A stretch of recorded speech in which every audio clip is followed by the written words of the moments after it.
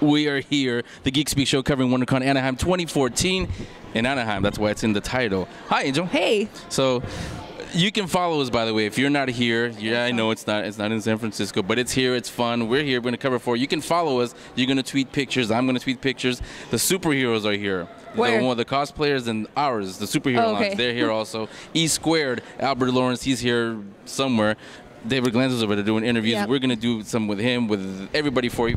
Uh, you can follow our Twitter at Geek Speak Show One. At Geek Speak Angel. pictures, the superheroes at what is it? The Geek See, I want to keep calling it the one. supper no. lounge, but it's not that because you can go there and get shawarma, but that's that's that's something else. That's outside the convention that? center. No, their Twitter is at the Super Lounge. Follow them there. They're gonna do some interviews with I think some brand new TNT shows that we know nothing about. They're gonna get the exclusive for you. I have one. What? TNT's Falling Skies. That's a good one. You're one. gonna get the exclusive. I'm gonna talk to some of the stars on there. Maybe, maybe not promising anything. Of course I am. I got money in my pocket. You do? You'll get some spoilers. No. Oh, okay, that's I'm not gonna touch it. I'm not gonna touch it. I promise. So again, the uh, the Geek Speak show at WonderCon Anaheim 2014. Ready? yes. Let's go. Get your bag. Super. So, Doug, with Falling Skies, we're about to jump into your fourth season now, coming about. Paranoia seems to be a theme that just courses through the veins of the show. How does it hit you? Yeah, well, yeah, it hits Cochise different than it does the, the humans. You know, uh, since I'm the, this cool, calm, collected alien on the show, I don't have quite those same frantic, paranoid issues that all the people do. Everybody goes crazy this year. No, I'm not. I'm not kidding you. Uh, in season, in episode one, you're going to see everyone's isolated and separated from each other, and and and and months have set in, and that what happens to a person when they don't have their peeps around them. Uh, you'll see different colors of their characters come out. So the humans are going nuts. They're all going nuts. What I love about being Cochise is that I'm still the calm, collected, everything's fine, everything will be fine uh, uh, character. Uh, but but I'm also kind of isolated in my own way. Uh, my mothership, my dad, uh, the who landed, and and we're, we're here to fight off the Espheni. Everything's gonna be fine now. Well. Episode one's going through uh, here in season four, and you're going to be like, "Well, where are these Volm? Where are the Volm? Where are the Volm? They're supposed to be fighting some people. Bad is happening, and the Volm aren't here to, to fix it. So what's wrong? Where are they? So that's the question that's going to remain for most of the episode until I make my appearance, and I'll and I'll explain. Hey, listen, we have other battles going on in the universe. It's not just Earth. You people just stop being so egocentric, okay? Uh, and so, uh, Dad and the mothership are gone, uh, but what's left is um, is my small recon team, and we're just kind of infor- giving information back to the, hoping just trying to keep things uh, even keeled while while my dad and the and the Volm gang are gone. So, will they come back? Uh, um, you have to watch the entire season to find this one out. Okay, it's because it's going down. Okay, it's going down. yeah, but, but Literally, gravity is bringing it down. everything. Yeah, yeah, exactly, exactly. Yeah, yeah. Wow. So, with all of that, uh, we've got one final question for you too. So, the technology that happens within the show that you get an opportunity to play with. Mm-hmm. Yeah. What's been your favorite piece, your favorite toy, if you will? well, uh, yeah, right, right. Well, because I, I have gadgets. I, I come, I come bearing gadgets. I'm an alien. What, what do I? I have to have gadgets. Um, but what I kind of love is uh, there's a, there's a communication device uh, that's sort of like an iPad, but it's got but it's got this scrolly bits around the edges that looks like an alien made it. You know what I mean? so I got my alien iPad, um, and so that's kind of my communicator. That so. But I can't find it for most of the season. So at some point in the in the show, you'll see like I get my my Volm pad back and I can finally talk to the mothership. Finally, we've been out of communication with them too. So I'm I'm I'm feeling my own sense of isolation because I'm also kind of abandoned by by the mothership, and the humans are all you know isolated from each other because they're held in captivity in different places as episode one unfolds. So uh, so. Uh, there's a sort of a human alien parallel between me and and the uh, and the people on the show. Yeah. yeah, isolation is a strong theme right a there. theme, Perfect. and, and what happens in that isolation, character colors come out of people when they're uh, not around their, their, their support system. Super. Yeah. Thank you so much for your time. Appreciate Thank it. you. We're here with Moon Bloodgood from Falling Skies, TNT's Falling Skies. Uh, we're not going to get into spoilery territory unless you want to. So tell us a little bit what we can expect in the upcoming season.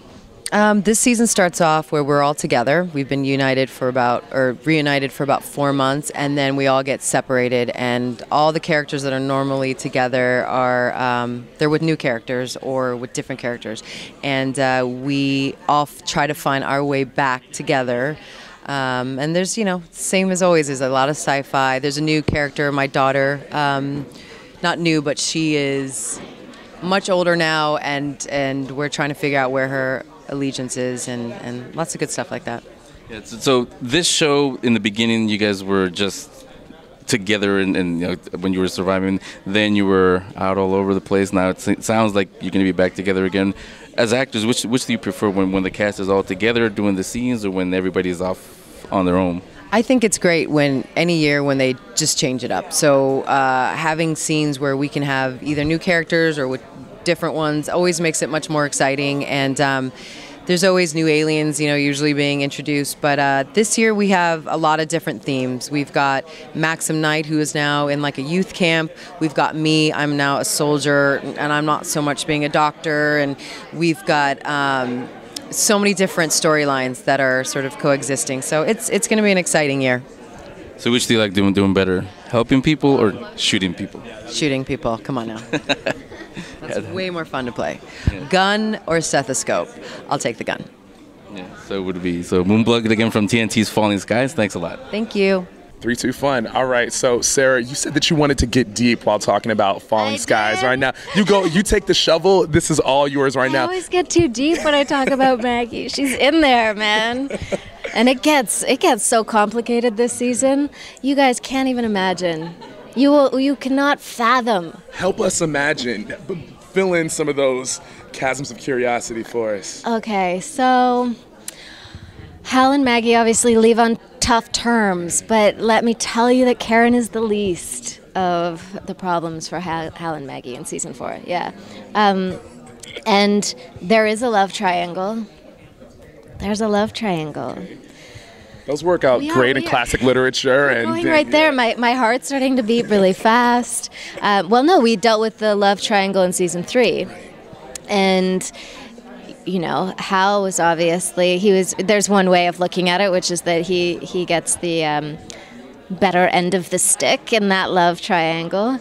And Maggie did a lot to accept, you know, the position that he was putting her in, and Hal loves Maggie. I mean, yeah, Hal loves Maggie. Maggie loves Hal. There's a lot of real going on in that relationship that's not going anywhere. However, it is challenged. And um, Ben, Ben falls in love with Maggie. And then things happen. And uh, it's justified, but it still happens. And I think for Maggie, because she's been betrayed so much in her life by people, by Hal, um, and also by life itself, uh, she has a lot of uh, pain around the idea that her own integrity could be compromised, like to to be the betrayer. I have found playing Maggie, she's this character's taught me so much, but to be the betrayer is far more painful um, because you're dealing with uh, shame and confusion and. See, we got deep. I- There we, you did- we go, did in get a to very short period of time. just in time. They, they could feel that you were going Oh, to dig a little deeper. That's how we had to wrap this Yeah. on up. Yeah. Well, thank you so much, Sarah. We're like, there's so much to look forward to in June. Clearly for us with Falling Skies. nuts, man. It's it's insane. So here we are at the TNT Falling Skies panel with Seychelle Gabriel. Now tell us without spoilers, or if you want to, you can. what can we expect from your character and from the upcoming season? Uh, my character, Lourdes, goes back a lot to her faith this season, just to get right to the point. Um, her, after the eye bugs last season and the uh, terrible, terrible harm that she has done to everybody, um, she kind of comes back with this um, enlightened spirituality that's really, really driven almost to a diluted fanatical sense to, to, to being peaceful and, and, and doing good, doing no harm. That's kind of scaring the viewers because we loved seeing you in the action scenes. Does that mean you're not going to have a lot of action scenes this time around?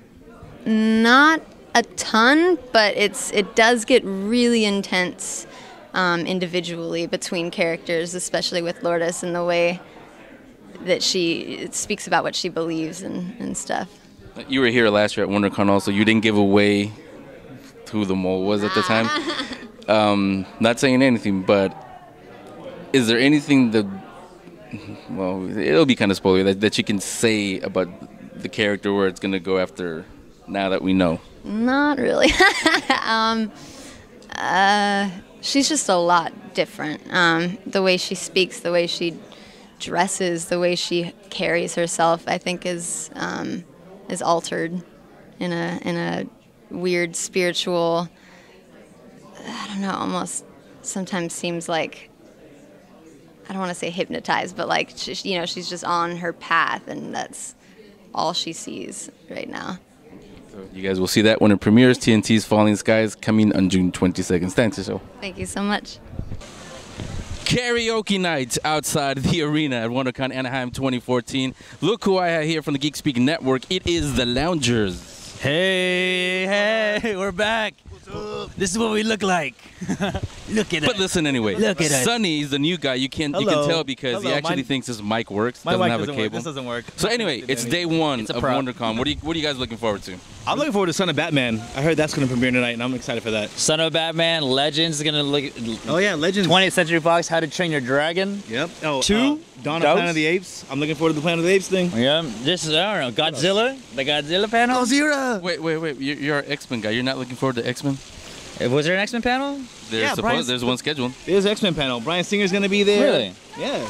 And then I need to be there. I need Yeah, to go. so we're all going to be there. You're all going to be there. If you're not here, you can watch it through us, hear it here on the Geek Speak show on their Superheroes Lounge. That they're the easy one. You can just lounge and all that. The when are you guys going to do a new superheroeslounge.com. episode? Friday, a couple this Fridays. Friday there will be a coming new Friday. episode. We're gonna talk about superheroes, And uh, vacations. vacation Because plans. we've been taking a break. It's uh, Super- Superheroes got to take a break. We're getting our son. They got to get their son. you get my son. Because tan- nothing tan says parts of my vacation like superheroes. So the Geek Speak Show, Superheroes Lounge at WonderCon Anaheim 2014. Let's go catch Bryan Singer. Actually, you know, David, why don't you start out? Do you want to start out by telling everybody sort of the premise? Um, Sure. Um, the stage. so Legends is a um, is a show about uh, a special group of FBI agents who um, who handle covert investigations. Um, a legend is a you know a uh, um, an identity that is created by an undercover agent to um, uh, to help infiltrate, go undercover. Um, but it's actually a, a fully, deeply imagined life. Um, and uh, Martin Odum, who Sean plays, is really sort of the best of the best. And these guys, just as a division, are, are really sort of the tip of the spear in doing investigative work uh, within the FBI. And uh, the show itself, that's the arena. The show itself is, is basically, it's about a guy who can't tell his legends from his real life. And um, these questions of his identity are really the sort of driving mythology of the show. And um, yeah, I'm, I can go on. Do you want to just also set up everybody's character? Oh yeah, so everybody's character. Um, okay, so I'll start with Sean. Sean uh, uh, plays Martin Odum, if that is his real name, uh, and uh, and uh, uh, Sean is an FBI agent who works legends, who works undercover. He does deep cover infiltration, uh, and in the pilot, um, somebody comes up to him and says basically, Martin Odum uh, is a legend. It's not your who you really are. And this launches uh, Martin on a deep quest uh, to discover what may actually be happening in his life uh, and who he really is. If there is some grand conspiracy afoot uh, behind this, he's going to get to the bottom of it. Uh, and in the Division of Covert Operations, which is a, a special elite division in the FBI, uh, his handler, or sort of the person who, uh, who sort of runs the operations for, for Martin Odum, is Ali's character, Crystal McGuire, Special Agent Crystal McGuire. And, um, and there is a, there's a little bit of a history between them. There's a, uh, uh, some degree of tension uh, between them in terms of tactics and methods. And, uh, but together, they make a formidable team.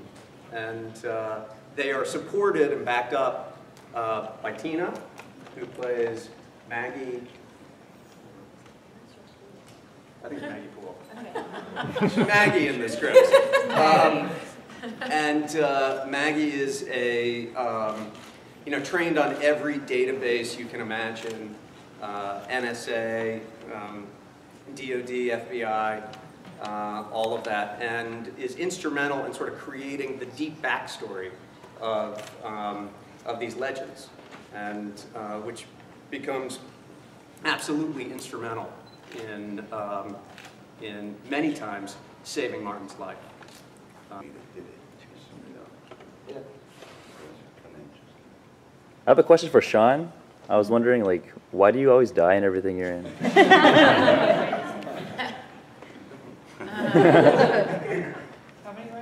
I think I'm still alive in this one. Yeah. well, uh, uh, Are you we don't happy to be- have are- Any, any plans for Sean's character's death? at Okay, cool. time. yeah, I don't die a lot. Cool. So, hi, Ali. How's it going? Welcome to WonderCon. Is this your first WonderCon? Is it time or what's the one in San Francisco? Well, there was a WonderCon in yes, San I've been to Francisco. that one, so this is not my first WonderCon. We're actually from Not San my first Francisco. rodeo. Oh, okay. Well, welcome down. Thanks. And then you look fabulous. We, we want to know, since we're at the Geek Speak show, we obviously want to know about the fashion, and we have to ask you, what are you wearing today? I'm wearing Valentino. I thought WonderCon, you know, could handle it. You know, She's spicing it up. bringing Ooh. a little lady to the day. So are you excited about the show, Legends? I'm so excited. I mean, you know, when I first heard about the show, I had some great conversations with Howard Gordon, and he really won me over by talking about, you know, really when you think about the show, it's about who am I, and kind of delving into the psychological toll it takes on these agents that embed themselves, and you create these legends. But then you have to go home at night, and how do you wash that off? What happens to you in the darkness of the night? And you know, what do you sacrifice? You know, Chris McGuire, she doesn't have a family, she doesn't have any children, you know, and that puts her in a place where she can be fearless, reckless. She's got nothing that holds her back, but at the same time, you know, I think it's crippling. Um, so I think that it's really interesting to kind of understand what goes into creating a woman like this, and. Um, you know, wanting to be in there with the guys, giving up. There's there's no personal life. There's there's no f- time for friends. It's about, um, you know, her thrill and her drive comes from being able to, you know, be in duty. So Definitely great. So uh, that should be it. And Yeah. thanks for right, talking thank to us. Thank you. Nice to meet you. Nice to meet you. So, so, all right. So we're just gonna walk around, show you guys how crowded uh, WonderCon Anaheim is, and we're gonna get into the mix. I'll try to narrate what we're seeing. I'm seeing a bunch of. Uh, there's a tall guy. He's wearing a big cape. We got him. He's over there, leather jacket. Storm Shadow. Oh, we got Storm Shadow. Oh, but I, I have to put on the I have to put on the, the my, my, my gloves and my, my hood, and by by that time everybody's gone. You know, nobody wants to take a picture of me. You what You're, you're like Drizzle, Drizzle Shadow then. You're? Drizzle Shadow, yeah. no. This is going to be on the yeah on YouTube for the Geek Speak Show, the GeekSpeakShow.com. Oh, okay, this is cool. I, I, got I'm kind of late. I got to go to a panel at 2:30. Nice Hey, meeting you. nice to meet you too. bye. Did you see his watch? He had like a Rolex on him. Storm Shadow. There you go. So we're walking around, and you never know who we're gonna meet. Who was that guy? Anyways, that Storm Shadow needs to retire because he's getting a little old. And here we go. We got a couple people wearing some uh, some blue. What do you guys?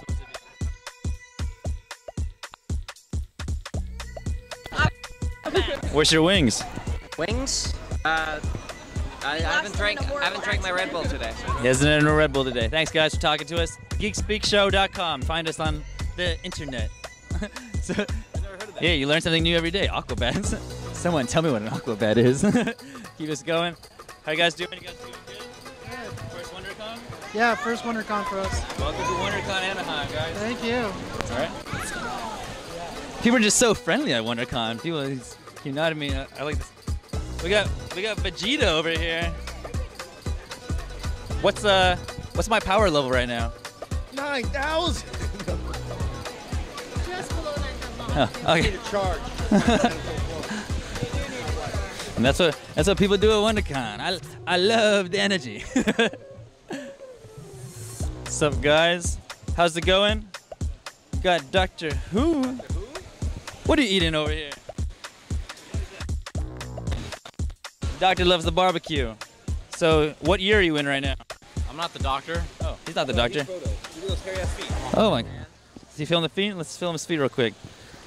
And this is what the this is what the face of uh, surprise and moated looks like because I didn't know what he was, but Thanks for talking to us. The Geek Speak Show. Frodo enjoying his barbecue. Let's keep going. Got a couple. Halo, Halo, Halo, Halo, Halo. What's up, Harley? What's up? How's it going, guys? How's it going? A little crowded. It was a little embarrassing earlier, but we're gonna keep going. Show, and this is what we do on live TV. Um, hey, Wonder, Wonder Woman. You're looking wonderful, woman. Whoa, this guy needs to get some sun over there. Get some sun. Get some sun. he needs to get some sun. so pale. I mean, we're in sun, we're in we're in sunny Southern California. This is Anaheim. All right, let's keep going. Let's go into the mix. Looks like there's like some DC thing going on over there. There's multiple Jokers and a couple Batmen. No Batwoman. Well, there's a Batwoman mixed with the Joker. You got one guy with a boombox. I believe he's supposed to be from uh, Batman, 1990s Batman. Remember with Michael Keaton. All right, let's keep going. We'll just check out what's going on at the WonderCon. Why do you tell me that guy looked like Doctor Who? That was Frodo. yeah, his girl looked like Frodo. no, no, no, that's messed up. So let's keep, let's keep walking. I like this guy's costume right here. Jesus bore our sins. He's a, how's it going? Get out of hell for free card. This is what we're doing. No, Oh, that's when I go there. When I go there. when, when we go there. When the show goes there. we're gonna, we're out of jail for free. How's it going, everybody? And uh, so now this is the food portion of WonderCon. So if you're hungry and you're wondering where can I get something that isn't a $32 fried chicken meal from across the street, you can always go here. And the food trucks is where the real, the real gourmet food is at. You can taste it in the air and in your wallet you can taste it. so let's let's go check it out. What we got? We got Burger Monster. The prices are horrific. Latin Bistro, eh? Line's short over there. Maybe we should check that one out. And uh, we got who do we have? Chunkin chips. We got chocolate chip cookies because you know all the geeks out there love milk and cookies in the hot Anaheim weather. Let's keep walking, getting into the mix. If you go look behind me, we can see the uh, WonderCon Anaheim. Ah! you didn't get my kick? WonderCon Anaheim. All right, let's keep going. We're still recording. Are we still recording? That's how it goes on live TV. Never know. Oof. Oof. Oh, mommy. I think I might find my soulmate at uh, at WonderCon. You know, single guy Joel on the prowl with the Geek Speak show, when we're talking to some people looking for some sausage, corn dogs, and hot dogs. Can I ask you guys a question for the Geek Speak show? Of all the trucks, what made you choose this one? It was the longest line. And we're masochists, apparently, so, you know. The line is long, then the food has to be good, right? Yeah, who knows? Hopefully. So maybe we'll come back in 10, 30 minutes and we'll. 30 minutes. We're like four people away. It'll be when- 30 well, minutes. yeah, when you have your food, and we'll ask you how it goes. You know, what are you, what, what are you gonna get? What are you gonna get? Uh, we got the Odin. We both got the Odin. Oh, so you guys order, so you wait for the food. Yeah, well, we, I guess we order in line and we'll drop it off there and get our food there. That's how it goes. WonderCon Anaheim. That's amazing. The, the local tastes and flavors of Anaheim. and we're gonna keep on walking. It's getting a little breezy. This job ain't getting easy, but we're gonna keep going. and so, superheroes and humans, we all get hungry. And when we do get hungry, we go to. Wait, Poison Ivy, are you a vegetarian or do you eat meat? I eat meat. She's a. What's it? What's that plant that eats that eats flies? Venus flytrap. Of course you would know, because she's poison ivy. Are these leaves are those poison? If you touch, will we get rashes? Yeah. Better stay away then. Thanks for talking to us, poison ivy. poison ivy, everybody. Woo! The Geek Speak Show. Hooty hoo! All right. Okay, let's go. We gotta keep going. Stop recording. All right, so we'll keep walking. We'll keep recording. You never know what we're gonna see. What we got here? We got Chopped Champion. They do. They were in the Food Network actually. And uh, we got funky garlic fries, which you don't. You, you do want to eat it, but you don't want to eat it. Here we are, WonderCon again, and you never know who you're gonna run into. Hello. Get a load of her. You got change for a 20. I heard that. I don't know. I have a string to put them in. What is it? oh, do I No. change or I'm not an Yeah. All right, let's go before we get beat up. We're here at WonderCon. We're here at uh, we're here outside, just by the food trucks. Just uh, you know, you never. We'll just stop by someone random. Excuse me. How's it going? How are you doing? Do you mind if uh, we interview for a little bit? Um, sure. How are you enjoying your WonderCon? Good. And this is amazing. This is the first time I'm here, but I'm loving it. Um, I've been to San Diego Comic Con twice, um, but this is my first time here, and, and it's amazing. Yeah. And uh, what was your name? Sorry. Um, my name's Jose Arana. Jose Arana. And uh, what are you doing? What do you? What brought you to WonderCon? Um, honestly, I I'm trying to get into the world of comics because I'm new to it. I've been in it with like for like three years now, two years. I mean, there's people here that have done it for like their whole lives. Um, so, you know, I'm learning a lot from them, um, and I'm actually creating a webcomic. Um, yeah, and um, it's cool because it's such a welcoming community, and even though I'm, I'm new to it compared to other people, um, you know, I'm learning a lot from them, and they're always there to like give advice or like uh, point you in the right direction for like comics that might interest you. Um, and uh, Well, well, why don't you tell me more about this webcomic that you are? yeah, yeah, yeah. So um, the webcomic is called Chronicles of a Necromancer. Um, and it involves fantasy and magic and Greek mythology. And um, you can find it on my website, chroniclesofanecromancer.com. Um, yeah, and um, and uh, so it's about this female college student who discovers she's a necromancer. And um, you're going to find out later on that she's somehow tied to the Greek gods in some kind of way. Um, so, yeah. Are you writing the story? Are you doing the illustration too and everything?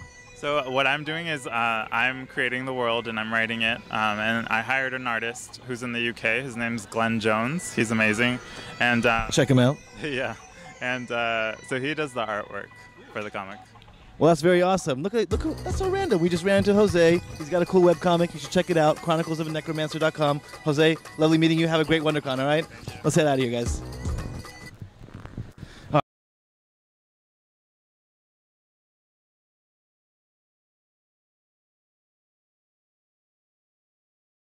Okay, so the last ship, you said that you were able to get some serious cooperation with the U.S. Navy. What is it about this show that you think appealed to that force so much? to the Navy. Yeah. I think the show is is not cynical, mm. and it's it's a show about heroes, but it's not also a show that's out to pr- promote sort of like rah rah jingoistic America. It's just about hardworking, honest people who make mistakes, who are human, but ultimately want to do the right thing. And I think because the show sort of respects the tenets of honor, courage, and commitment that the Navy themselves want to put forth, they were eager to let us work with them because that's how they believe every day. So I spent a lot of time, and Hank did, on the ships, talking to real sailors, saying, "Okay, look, you're at your station. This happens. What do you do?" And they give me their answer, and I write it down, and I try to find a way to incorporate it into my drama, so I get the real way they do it. It's always more interesting than what you think it could be, because it's way cooler when the, what the hell the real guys do it. And that that was all the way up up. Two knuckleheads are screwing up you can't fire them. There's nowhere to go. The world's over. You can't demote them. There's no there's no navy. How do you keep them with the pro, in the program motivated? So this is a question of leadership. He says, "Well, I would say the following," and he would he'd lay it out for you, but, teaching them their responsibility to their shipmates. How it's not just about them; it's about their their shipmates. About it's about the mission, and it's about lifting up all of us and and making them believe that. And we did that in the show, and it really it made this cat this captain such an amazing hero. The kind of hero you you, you want to put him up there with like you know Captain Kirk or Coach Taylor. You know what I mean? He's he's a real leader, and so much of the Navy is leadership, but it's not leadership from the top down. It's about command as service, leading leading up. So you see a young sailor, even not during an apocalypse, you know, and you say, even you see young sailor, you seem to have a lot of potential. What do you want to do in the Navy, son or, or, or young lady? Let me help you get there. Let me help you learn this department, that department. Let me send you to school for two years to become a doctor or engineer on the Navy's dime. Come back and bring that skill back to the Navy and show other people how you do it. And the greatest leaders are the ones who had the greatest mentors. And so we do a lot of meditating on the idea of leadership, which I think is why the Navy was so excited to work with us. And I think we also show the Navy being really badass because they do some pretty cool things. You know, it's been a long time since Top Gun, and the technology's gotten even better. So these guys can they could shoot a bird out of the sky. Not that they would. They could shoot a bird out of the sky from 15 miles away. Boom. You know, um, but their mission mostly is peace. You know, and um, and they're part of the Constitution. The Constitution doesn't call for a standing army. It calls for a standing navy because we're an island nation in many ways, and they are our emissaries to the world. They are our ambassadors to the world. They're out all the time forward. There are, forward operating bases. So they want to be shown in a good light. They didn't tell us you don't get our cooperation unless you show us in a good light. They just said it looks like you're showing us in a good light. We want to be part of this. Right. And so they've been great. They've been part of our show every, uh, from the very beginning. They give us notes, and you know, look, I had never been to sea before, so it was always good to have a real person explain to me that you don't yell duck, you you do something, you know, whatever. So, um, you know, for your geeks out there, it's like it's all about the research. This was a great a chance to do research with the Navy and learn how they how the ship works, and it's the most incredible, incredible piece of machinery. So. The final question, then, because I know we have to wrap you up, is you speak a lot about leadership. So I want to know what are some of the classical works? So whether you were looking at something from Socrates or like some old Machiavellian things, what which ones of those sort of inspirations have found them what found themselves into Right. this script? I read a lot of von Clausewitz on on war. I read a bunch of the sort of art of wars, Machiavelli's and, and uh, Sun Tzu. But actually, one of the greatest pieces of material I read was uh, Command at Sea, which is a a book the Navy gives out to their commanders who are in the pipeline to become a leader one day. They pick you out. They say, "You, I think you have what it takes to lead a ship one day." They pull you out. They put you in a, what they call the pipeline, and they take you to certain schools and they train you. And, and people wash out. Not everyone's out to be a captain. As ship, your character, we know that uh, you said you don't consider yourself necessarily to be a hero within the show, but why is that? Uh, because I think that's the attitude of the man that I'm playing. Like he doesn't put himself in the situation; he puts people before him. So he uses himself in the service of everyone else on the ship. So let's say you have a function on the ship, a very important job on the ship. One of the things I'm going to do is make sure that you are okay to do your job. You know what I mean? So therefore, that's why I said earlier that I help people be heroic rather than being heroic. But that can be looked at as heroic. It's just a matter of perspective. You know. Well, in developing that character, then was there any specific person on the ship or any?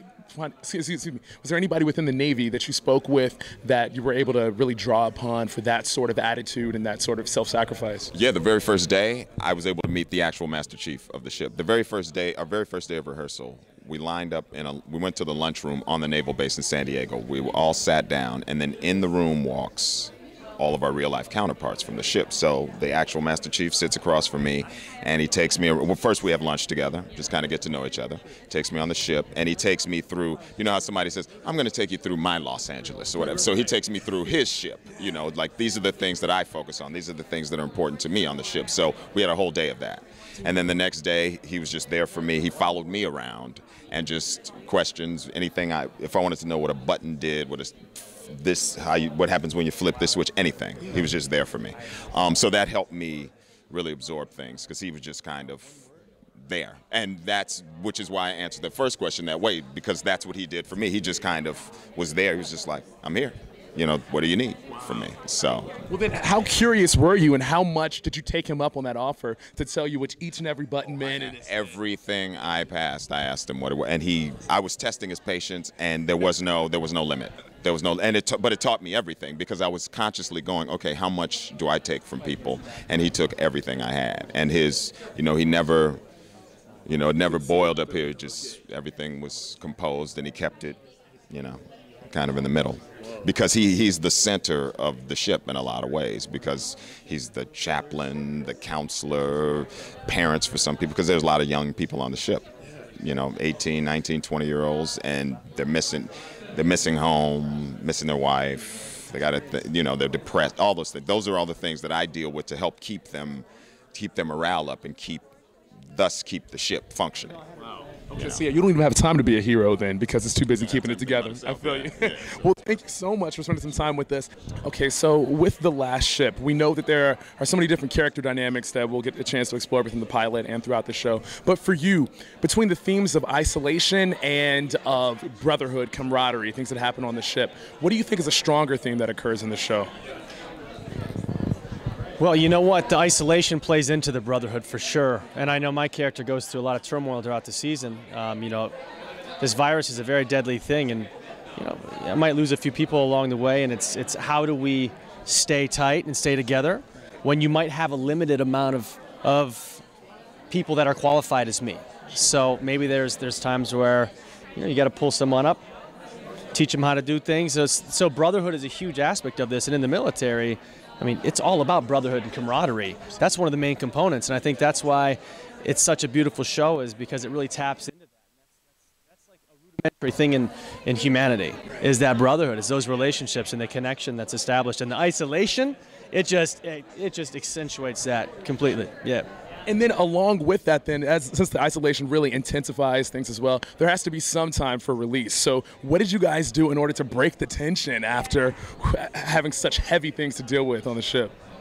As an actor or as a character? do as an okay. actor. As an actor. So as, as not my character. Right, right, right. Oh shit. Yeah, yeah, yeah. Okay, yeah. So for me, I mean, going home and, and uh, this this definitely was.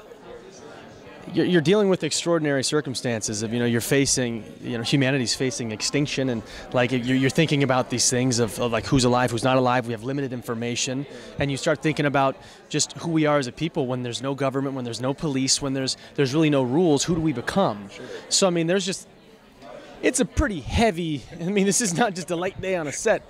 So, um, I mean, for me, I'd have to continue doing my my own thing. You know, me and my buddies, we hang out. I, I went skydiving a few times to release some tension. Um, I did some a lot of Muay Thai. I started working out at Brick CrossFit, so I was doing CrossFit workouts, and then you know, just just kicking it, going on weekend vacations, whether it's the Joshua Tree or, or whether it's just getting away. You know, no sailing. No sailing. Enough of that shit. Yeah. Perfect. Well, thank you so much. We look forward to the premiere. Geek Speak Show, Son of Batman. Plenty of people coming through. We're going to talk about Batman's son, Damian. We're going to see what this movie is about because we're figuring it out and learning it right here on the carpet live. So we're going to bring you along with us on this journey. Son of Batman. With Jason O'Mara, our voice of Batman and Son of Batman. This is your second time donning the, the cowl, if you will. So coming at it this time, what did you bring with you that you'd already learned the first time when you did Justice League? Experience. I think the hardest thing about voicing Batman for the first time was trying to find the sound of you know how how the guy himself should sound, but also how to produce that sound and how Batman and Bruce Wayne differ slightly. So I found that quite tough on Justice League War. I mean, I, I was fairly happy at the end with what we produced, but this gave me another, you know, a second crack at it. It gave me another crack of the whip, and, and it was a chance for me to kind of really hone in on what I wanted to improve, and and even start to enjoy myself. And yeah, and that's that's why I love this movie because I just I had a great time uh, working on it. Well, then you have to break down for us then some of the differences between voicing Bruce Wayne and voicing Batman, and how do you make that shift? Well, I mean, obviously, Batman is uh, he's he's darker. He's I think the embodiment of um, uh, what Bruce Wayne is setting out to do. You know, setting out to achieve. Um, so. Bruce himself, I think there's uh, a responsibility that Bruce has to be fairly charismatic uh, for the board, uh, for his business, for all of the things that Bruce does for Gotham. So he has to be pretty well put together and um, pretty presentable. Whereas Batman doesn't need any of those things. So um, it, it was it was kind of fun to play with the differences there.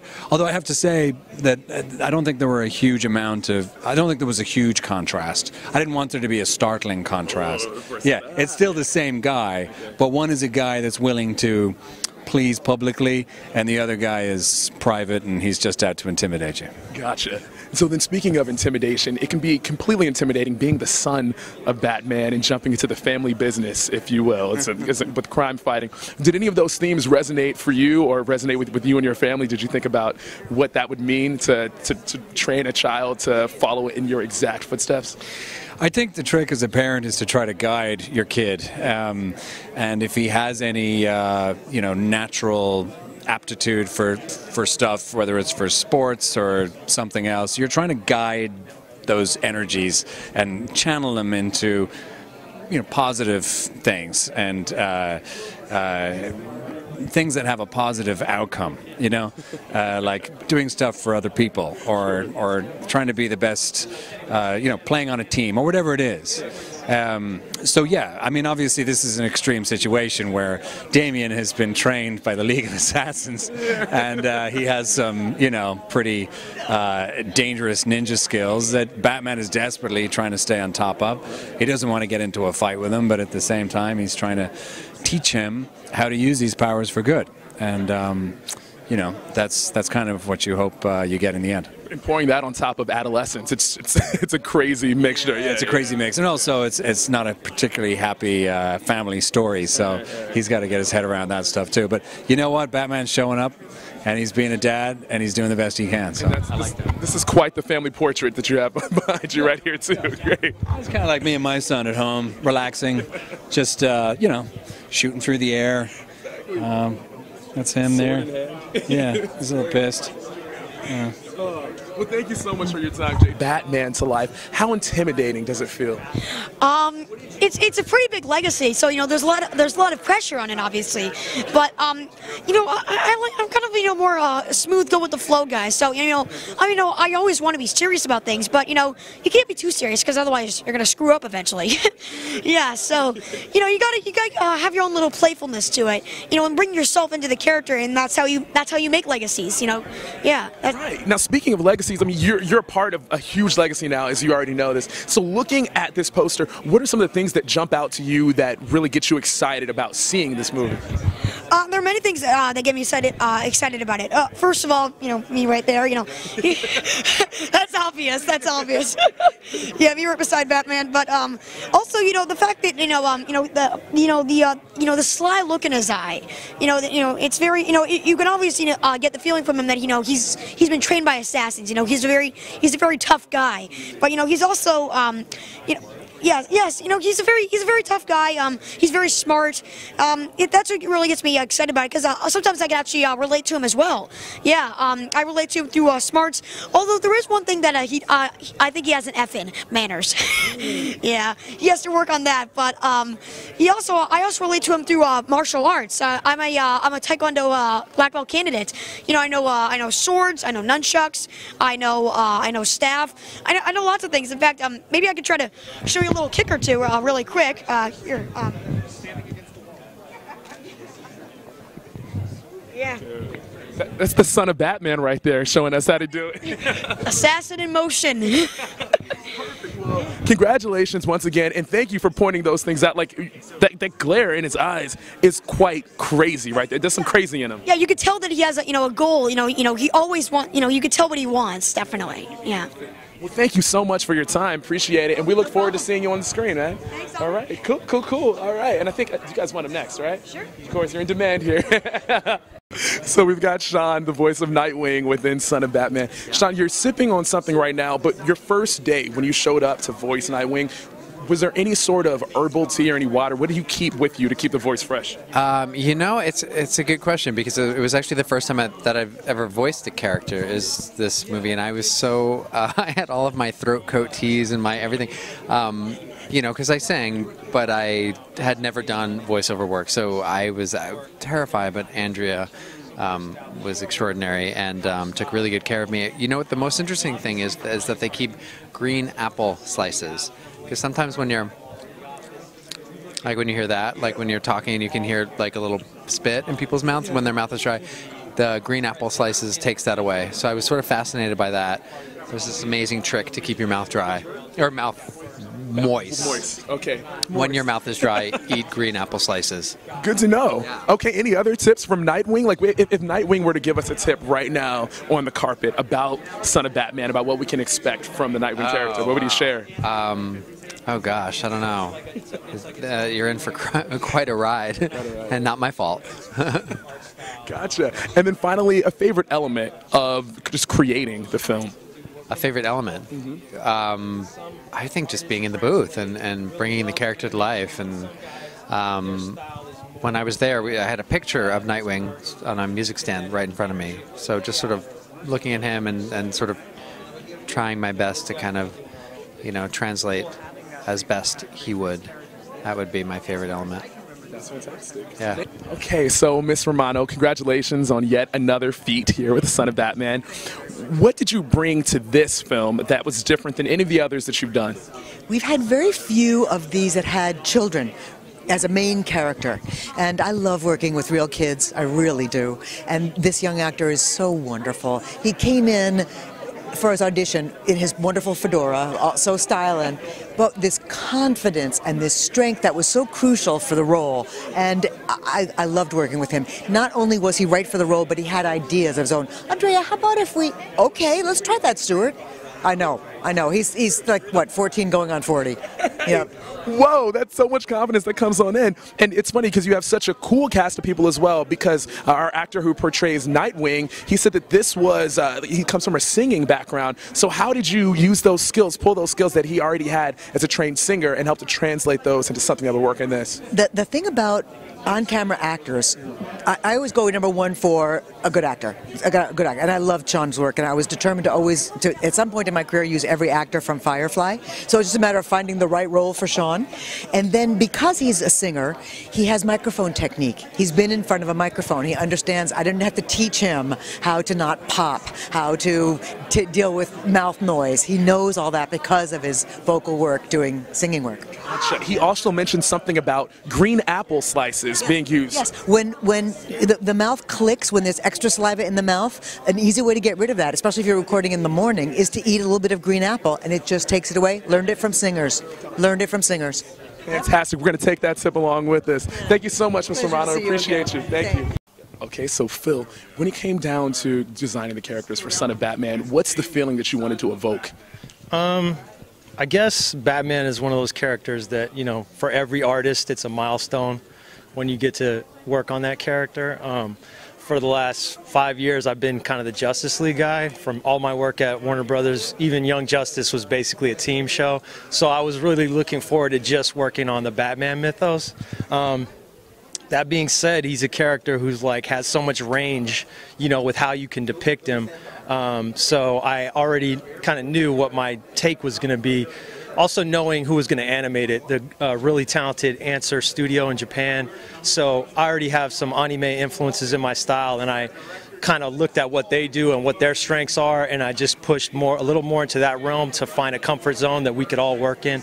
And yeah, I just went for something that I felt was going to be classic you know, a classic take on the character, but still, you know, moving forward with this sort of new look. And it's, I don't know, you know, I was trying to really um, just appreciate that moment. Any day that you can, you know, go to work and get paid to draw Batman is a good day. So, For sure. Yeah. And finally, then, with all of that said, can you look at this poster for us right now and, and tell us one thing in here that the average eye might not pick up on, but that you would love for us to be able to pick up on? Um, okay, well, this is a little bit of a spoiler, but once you see the movie, it won't be. Um, basically, all that gear that Damian is wearing, uh, he starts out as like a ninja, right? Because he's he's trained by the League of Shadows and his grandfather Ra's al Ghul.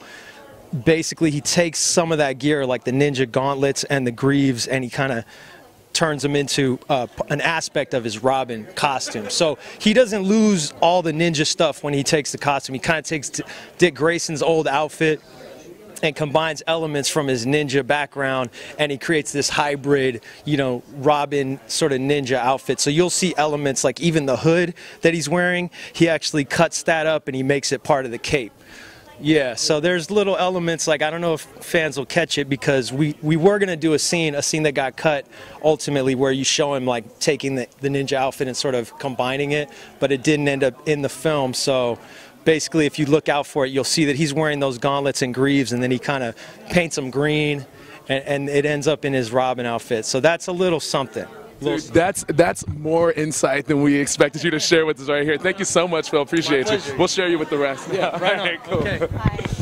All right. Uh, yeah, I'm James Tucker, producer of Son of Batman, and it's T U C K E R.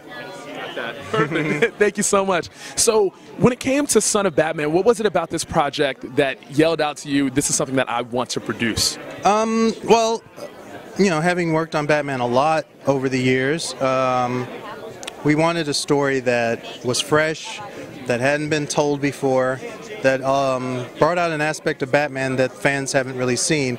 And I mean fans who aren't, not all just comic book fans, although of course they're our primary audience, but people who have a casual knowledge of Batman.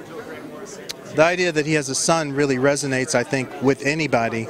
And it's just such a strong idea. And Damian is such a great character that uh, it was kind of a no-brainer to kind of introduce him as the first character in this new line of Batman stories and explore Batman from the angle of being a parent and having to deal with his offspring in a way that he can't with some of his other uh, disciples. So um, it um, opened a lot of story opportunities for us. In fact, it, it probably opened so many that it was it a difficult thing in order to narrow down exactly what angles do we want to explore within this this film that can only be but so long because there's so much with the father and son that you can do. Right. Well, we wanted to get the gist of the relationship, and um, you know, see how this movie went, and then for you know, hopefully further explore it. Um, but yeah, we couldn't literally adapt the first storyline because it's just too unwieldy and long, and um, and it kind of ended on a open note. So, um, and also, you know, the the needs of a movie. We kind of needed Damian a little bit redeemed at the end. He's not totally redeemed by any means, whereas the first arc of you know Batman and Son, he's still pretty much a little S word. So, uh, so we you know we we made some took some liberties, but um, I think it's an enjoyable film. I think it gives you the essence of Damian. It's clear we know who the character is. It's not like you know some Hollywood guy just took a comic book and totally screwed it up. We know who the character is. So you know there's we always have to make choices. So I'm really happy with what we did with it, and I think for this continuity. It's its own thing, and the way we're using Damian, I think fans will enjoy. Well, thank you so much. We appreciate it. Yeah, man. Have a great one. this film, how did you bring something fresh to it that you hadn't brought to any of your other projects before? Um, I think just being it being Batman, I was able to bring a lot with. Uh, it's so much to work with. It's a great character, and I think we added a little film noir to it, and I think we added a little bit of the classic pulp elements to it. After it was done, I was like, wow, this is kind of pulpy. I like it, like old-fashioned a little bit. So.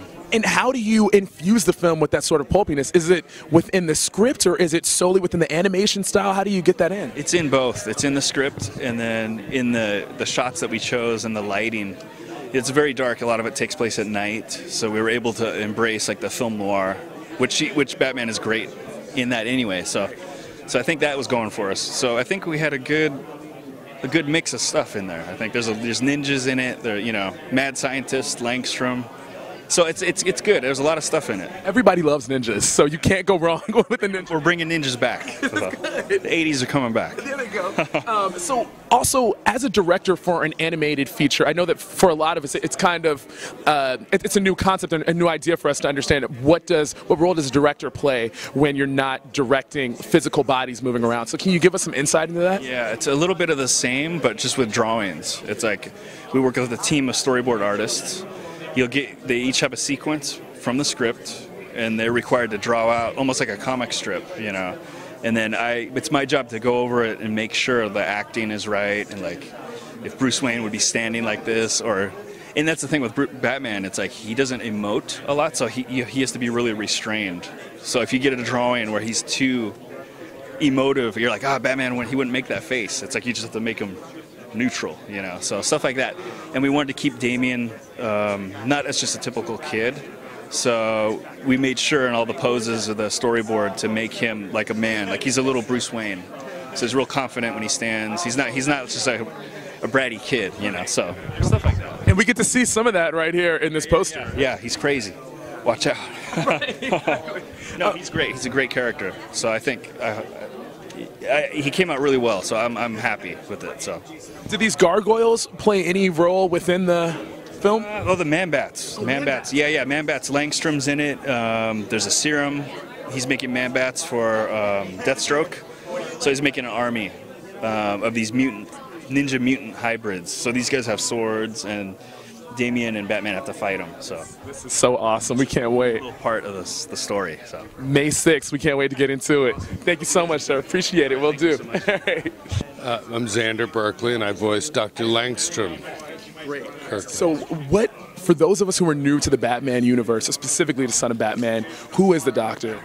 Um, well, you know, you, you expect uh, the the villain, but uh, then you discover that his his daughter's been held hostage, and so he has uh, been held captive by the real villain, and so things work out in the end. So then, when you were preparing for this role, getting ready to step into the booth, what sort of mental gymnastics did you have to jump into to be ready? Well, I've been playing bad guys for a very, very long time, and I've been playing professors and doctors and things like that for a long time as well. And uh, I, I think I got the call from uh, Andrea to see if I was available while I was working on something else, and I was free that day, so I jumped in.